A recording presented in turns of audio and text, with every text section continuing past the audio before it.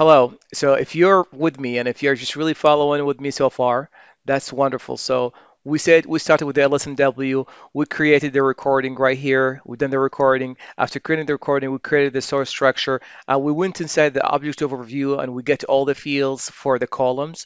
And then we created our source fields, meaning uh, what are the fields inside the source structure. Then we've done the relationship between the recording and the source structure. Then we've actually done the, yeah, this is what the relationship is. Then we did the field mapping, mapping field field by field, the fields from inside the recording and the fields from the inside the structure. We map them against each other inside the field mapping. We skip this one here. Then we specify the file. So we have actually created our file upload file. So we've created our upload file and we saved it as a text tab delimited. And now is the time to assign this file to our information. So you click here into that assign file, make sure you click into the change mode. So as you can see here, we assigned our file that we got, the upload file, we assigned it to the source. So you click save, okay, then you go back. Okay, then you click onto, uh, then you just go to take it to the next step to read the data. Then you just say, yes, I want to read the data and click in here and you click OK or allow.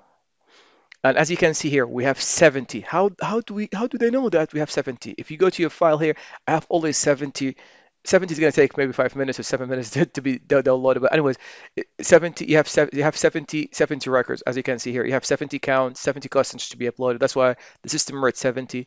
Anyways, these steps now is only mechanical. You don't have to do anything. You just like need to look at it. Okay, make sure you do it. Now I'm going to display the, the data read. The system is going to take you from one step to another. You just follow the system. I'm going to see here, as you can see here, I'm looking into the data. I don't have to do and change anything. Okay, if you want to Okay, then, then I'm gonna, system's going to take you to the convert data. You click into here, convert data. System is going to convert data. We don't have to do anything. System is going to convert the 70, 70 data that we have done. And you go back. And then you're going to display the converted data. As you can see here, the system is going to convert all the data for you. Okay, all the system is converting all the data. As you can see here is the dates and all, all this all the information that we've actually uploaded. And now the system is going to create the batch input session. This is the most important thing. The system is going to create the batch input session. So you go here, create the batch input session for us. And always you need to say, say, okay. And there's a batch, one batch input session is being created for you. And you say, okay. And then we have to run the batch input session. To run the batch input session, you click run. And you select the CST, whatever is the session. And you click process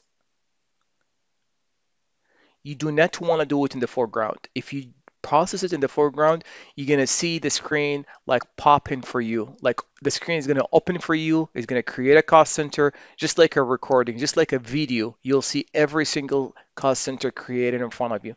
But you don't want to do that. You want to do it in the background where the system in the background will actually do it for you. Okay.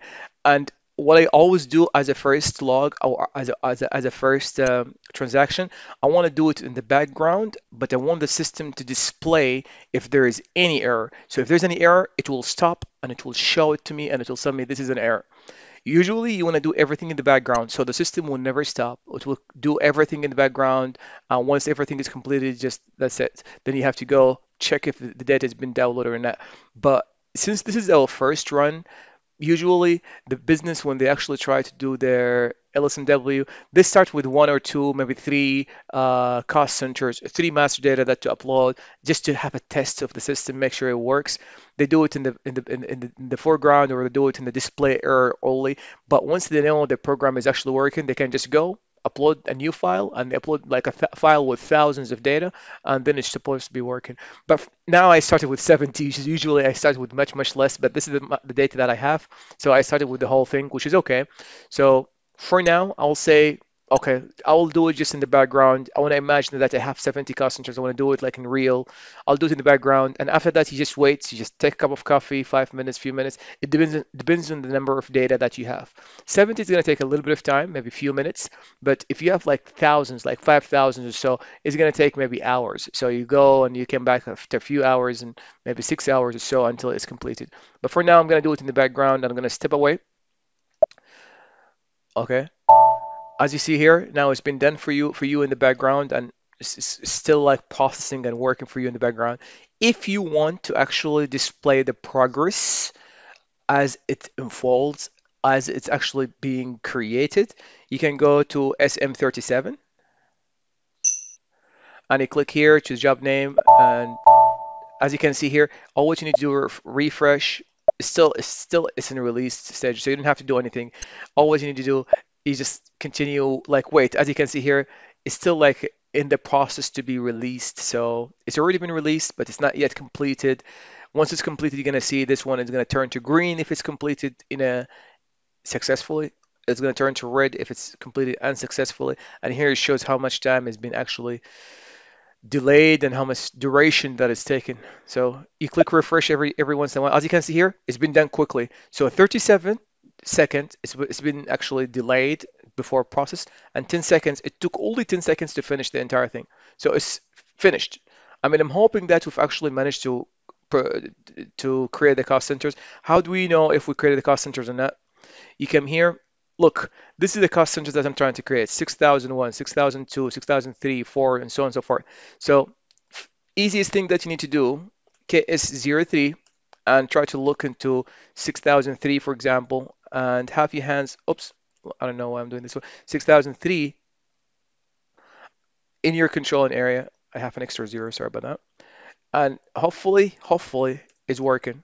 As you can see here, here's 6003, which is expense Expensiva, Expensiva, and this is the this is the manager name, Darrell, Darrell. So let's come here, 6003, which is Expensiva, and this is uh this is the, the, the name of the person, the manager, which is which is Darrell.